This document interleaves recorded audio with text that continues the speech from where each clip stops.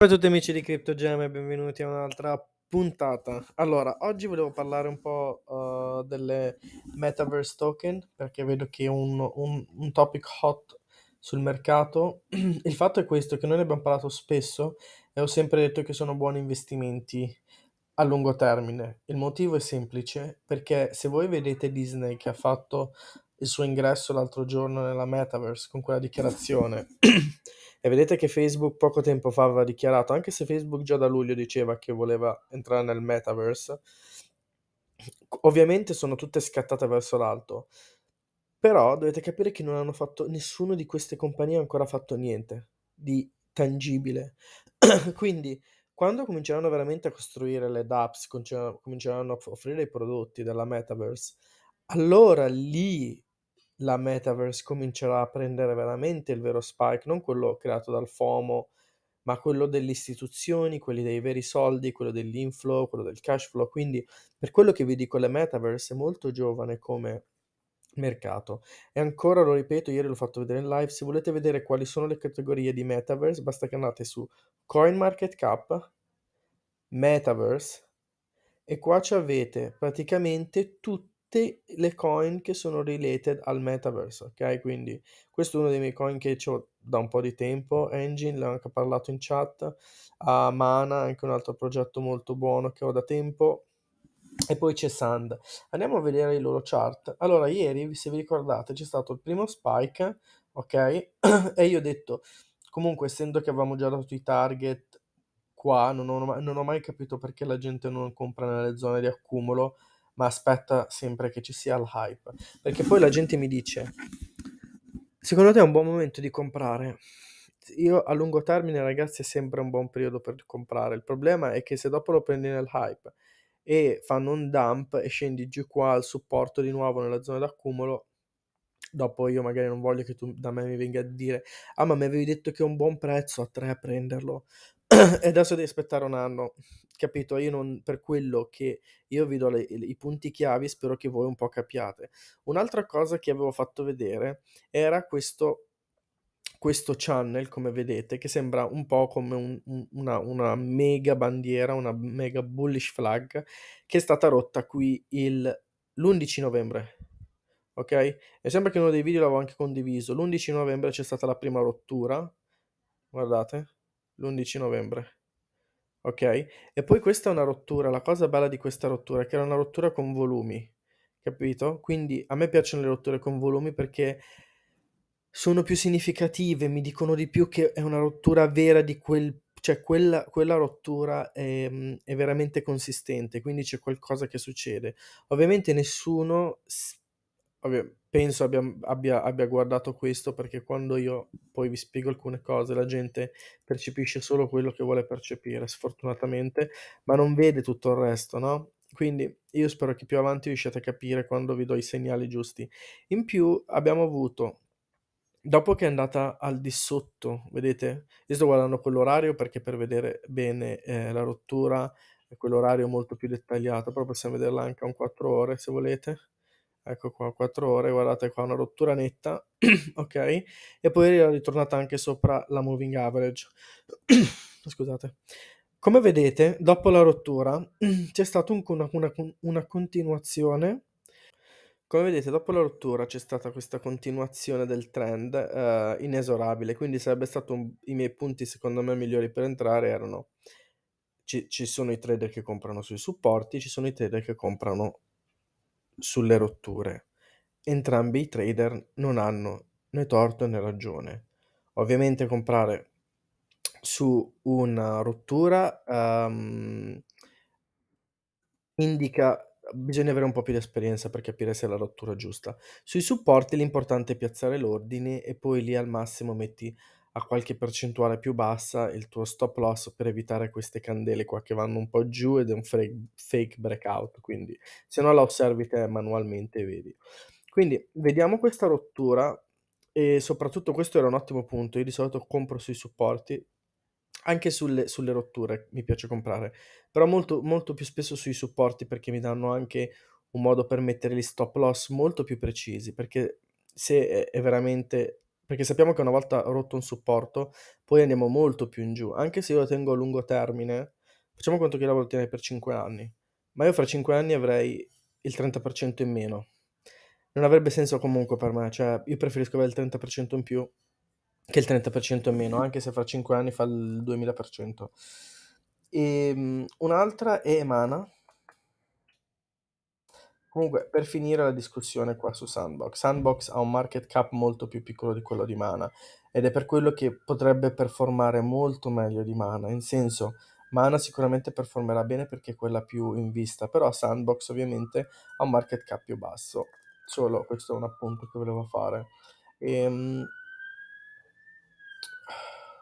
Ok, allora Mana o Decentraland come la volete chiamare, avevano fatto parecchi studi e la cosa che mi sorprende anche qua che nessuno mi ha mai chiesto in chat quando era qui è Mana buona da prendere. Tutti me l'hanno chiesto quando Mana era qui. Una cosa che veramente fino adesso ancora mi, mi sorprende molto è questa storia. E come vedete, adesso non è su questo chart, comunque, quando... Vediamo se è sull'altro quello. Quello di Bitcoin. Forse qua. Poi vedremo anche Bitcoin.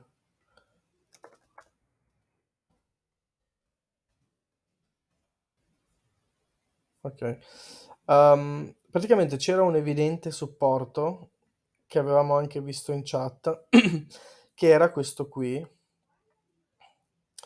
Vedete qua dove è rimbalzato questa zona, ok? Questo era un evidente supporto, come vedete è andata su, e poi da qui è andata su di nuovo, quindi ci avete già due punti di riferimento molto buoni. Quindi magari se non l'avete preso qui, a parte che ci è andata su una, questo è a 4 ore, quindi 2, 3, 4. Cioè avete 4 occasioni per poter comprare questo. Facciamo conto che le prime due vi servivano per conferma, ok? Avete avuto la conferma che questo è un supporto. Torna giù, potevate prenderla qua. vi siete mancati, torna qua, lo potete prendere qua. A parte che potete piazzare i buy order senza essere al computer, quindi um, non c'è neanche bisogno che siate al computer. Comunque, sta di fatto che qua potevate prenderla, nessuno l'ha presa ovviamente, o pochi sono riusciti a prenderla. Um, adesso cosa è successo? Innalzamento del prezzo, vedete, eh, del, scusate, dei, um, dei volumi. Classico um, higher high che è successo qui per portarla fino su e c'è stata la rottura di questo supporto. Vedete, questa è una rottura netta, scusate, della resistenza, questa è una rottura della resistenza. Ora si sta formando questa piccola candelina qui che è una reversal pattern, però essendo che siamo in un uptrend potrebbe essere negata. Sta di fatto che se questa reversal pattern, vedete un, una rossa qui, può essere che riscenda un po' più in giù, ok? Quindi stiamo a vedere a fine giornata come performa questa, questa reversal pattern. Sta di fatto che siamo sui massimi, abbiamo rotto gli ultimi massimi, gli ultimi high, abbiamo rotto e stiamo confermando la rottura. Però al daily, se vedete, la rottura non è stata confermata, perché come vi dico, daily e il 4 ore sono, dicono due cose diverse e possono ingannarvi. Alle 4 ore non c'è stata la rottura, perché non c'è stata nessuna chiusura giornaliera al di sopra di questo livello mentre nelle 4 ore uno potrebbe dire ah c'è stata la rottura, però come vedete c'è stata anche una reversal uh, pattern candle, ok? Quindi attenzione a queste cose se volete entrare nei punti precisi, nei punti giusti. E poi potrebbe formarsi il cosiddetto double top, se questo dovesse tornare ancora giù. Il double top, come sapete, è un bearish, un bearish pattern. Però ragazzi, per ora il metaverso a lungo termine, chi lo vuole prendere per nel lungo termine io dico sempre che è un buon investimento. Qua come vediamo non siamo ancora arrivati ai massimi, i massimi sono circa sui 2,30, sui 3,30 scusate, 3,30, 3,30, quindi ai 3,30 bisognerebbe vedere un po' se ci dà dei segnali di conferma o no per la rottura. Se il fatto che qua vedete c'è un alzamento dei volumi, stanno ancora andando su, Vediamo ragazzi, vediamo come andrà a finire questa giornata per le Metaverse Token. E sono confident che nel lungo periodo andrà molto bene. Se cercate un punto di accumulo, ovviamente ragazzi, guardate bene questi video perché questi sono, io ve li ho già date le zone di accumulo tempo fa. Ehm, quindi guardate bene le zone di accumulo, guardate le 4 ore, guardate il daily, anche l'orario è buono per individuare piccoli reversal pattern, quindi tutte cose buone da guardare.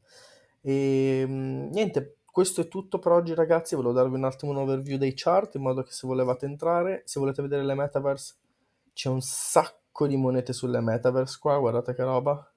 Andate a vedere quelle che stanno magari con un piccolo cap, se pensate di aver perso il treno, market cap, le mettete in ordine. Ho fatto vedere anche ieri queste cose.